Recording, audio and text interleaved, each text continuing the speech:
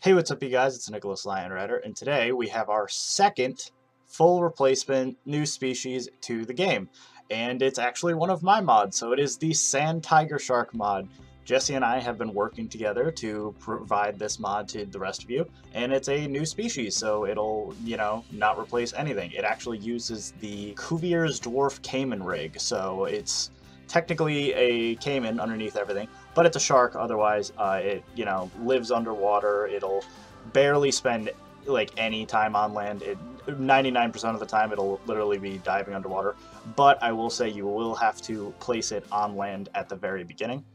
And so I thought I would show off today uh, the entire process of me creating the mod. So this is beginning to end all the sculpture work and texturing process, and then finally the final product, which I'll have in a link in the description where you can go and download it. And uh, I know Jesse and I have been working on a few mods together, uh, you know, that we're trying to get going. Uh, he's busy trying to update some other people. Pure Winter's Wild Horses on the uh, on the horizon, and I'm working on a few of mods of my own. So hopefully we can get the ball rolling. And he's uh, instructed me as well as he's uh, taught Leaf and NDP as well as myself, like I said, uh, how to do this technique on our own. And then hopefully a tutorial for general use or whatever will go out either by him or myself uh, once I feel comfortable doing it uh, a few times probably. And then you guys can also start creating your own new species. But uh, without further ado, I just want to, you know, let you guys enjoy the video and not keep rambling on. But thank you all, and uh, I hope you guys enjoy the mod. So we finally have truly aquatic animals in the game. So thank you all, and I hope you enjoy.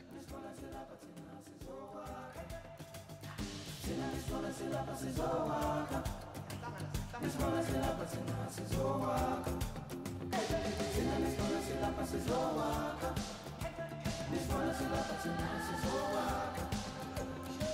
is.